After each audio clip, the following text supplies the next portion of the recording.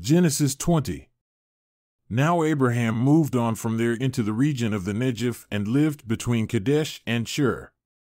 For a while he stayed in Gerar, and there Abraham said of his wife Sarah, She is my sister. Then Abimelek king of Gerar sent for Sarah and took her. But God came to Abimelek in a dream one night and said to him, You are as good as dead because of the woman you have taken. She is a married woman. Now Abimelek had not gone near her, so he said, Lord, will you destroy an innocent nation? Did he not say to me, She is my sister, and didn't she also say, He is my brother? I have done this with a clear conscience and clean hands. Then God said to him in the dream, Yes, I know you did this with a clear conscience, and so I have kept you from sinning against me. That is why I did not let you touch her. Now return the man's wife, for he is a prophet, and he will pray for you, and you will live. But if you do not return her, you may be sure that you and all who belong to you will die. Early the next morning, Abimelek summoned all his officials, and when he told them all that had happened, they were very much afraid. Then Abimelek called Abraham in and said, What have you done to us? How have I wronged you that you have brought such great guilt upon me and my kingdom?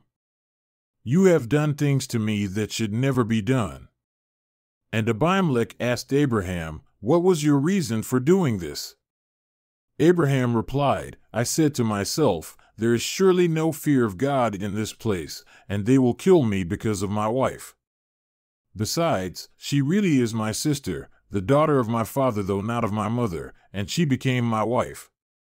And when God had me wander from my father's household, I said to her, This is how you can show your love to me. Everywhere we go, say of me, He is my brother. Then Abimelek brought sheep and cattle and male and female slaves, and gave them to Abraham, and he returned Sarah his wife to him.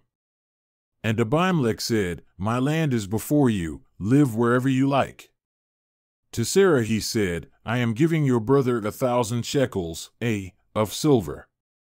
This is to cover the offense against you before all who are with you. You are completely vindicated.